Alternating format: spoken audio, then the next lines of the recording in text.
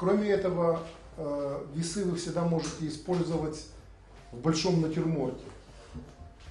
Как часть большого натюрморта, они безоговорочно и беспроигрышно будут вам э, служить э, очень хорошим дополнением или наоборот могут быть даже главным героем вашей композиции.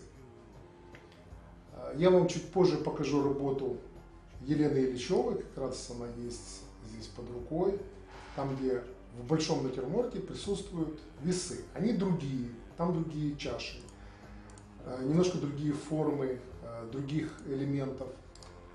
Э, Но тем не менее, вот, вот это вот весы как символ, мне очень хочется, чтобы вы научились их делать. Мы начинаем от простого к сложному. И вот составляющего, составляющая большой композиции, весы, если вы их научитесь делать, это было бы очень здорово. Поэтому очень подробно разбит э, на этапы наш мастер-класс сегодняшний.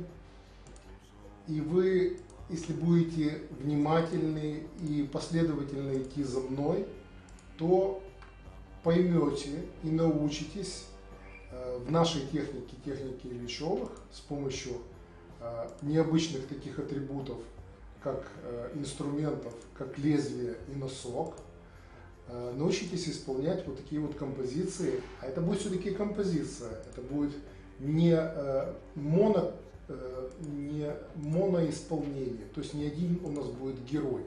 А мы туда введем, э, например, ключик. Обычный вот такой вот э, большой ключик э, дверной. И таким образом у нас уже будет два героя, а это уже можно, может претендовать на композицию.